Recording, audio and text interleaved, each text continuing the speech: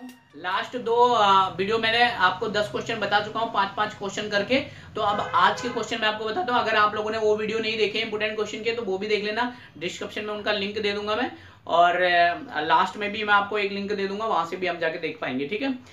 तो अगला क्वेश्चन शुरू करते हैं। अगला क्वेश्चन है वैद्युत द्विध्रुव की अक्षीय स्थिति पर किसी बिंदु पर वैद्युत क्षेत्र का विभव का सूत्र ज्ञात करना ठीक है? 2012, 2016 और 2017 में आया हुआ है ये क्वेश्चन उसके अलावा अगला क्वेश्चन में आपको बताऊँ तो यहाँ पर अगला क्वेश्चन है किसी चालक तार में प्रवाहित धारा तथा इसमें मुक्त इलेक्ट्रॉनों के अनुगमन वेग में संबंधित व्यंजक का निगमन कीजिए। का मतलब यह है बच्चों की अनुगमन वेग और धारा में संबंध का एक व्यंजक होता है उसका आपको निगमन करना है उसका डेरिवेशन आपको पढ़ लेना अच्छे से। ये भी 2012, 2015, 2017 और 2018 में आया हुआ है। काफ़ी इंपोर्टेंट क्वेश्चन है इसको भी आप राउट डाउन कर लेना।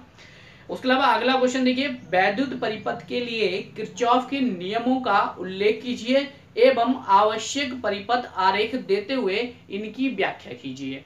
तो ये भी क्वेश्चन आया हुआ है, इसको भी आप लोग अच्छे से तैयार करेंगे। 2011 में 2013 में और 2017 में आया हुआ है। तो ये तीसरा क्वेश्चन हो गया।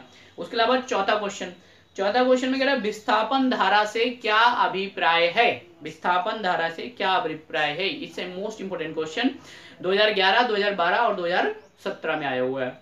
उसके अलावा पांचवा क्वेश्चन की अगर बात करें तो पांचवा क्वेश्चन है कांच की समतल प्लेट की फोकस दूरी और क्षमता को बताइए। एक नंबर का क्वेश्चन है।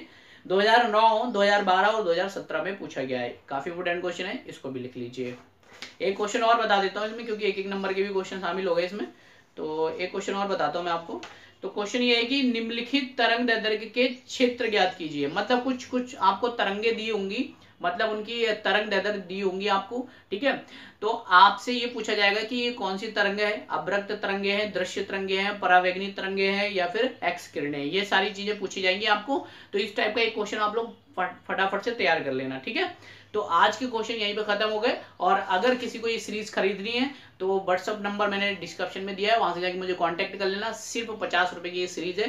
पूरी आपको मिल जाएगी पीडीएफ की फॉर्म में।